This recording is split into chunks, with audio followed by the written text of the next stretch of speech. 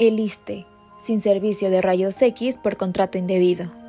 Mientras el actual gobierno le paga más de un millón de euros mensuales al presidente de Cuba, Miguel Díaz Canel, para que 610 médicos de ese país brinden servicios de salud en las comunidades más alejadas de México, la atención del Instituto de Seguridad y Servicios Sociales de los Trabajadores del Estado está en agonía. Pues las clínicas y hospitales del instituto no tienen servicio de rayos X, tomografías, mastografías, ultrasonidos, procedimientos endoscópicos y exámenes de anatomía patológica.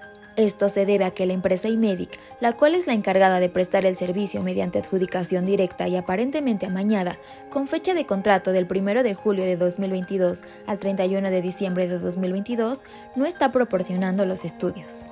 Lo cual se refleja cuando cada 24 horas se han dejado de atender a 3.975 pacientes de radiología en todo el país. Se suspendieron más de 105.000 estudios de radiología se redujeron a solo 92 los procedimientos endoscópicos y se dejaron de hacer 512 biopsias, las cuales son necesarias para las cirugías.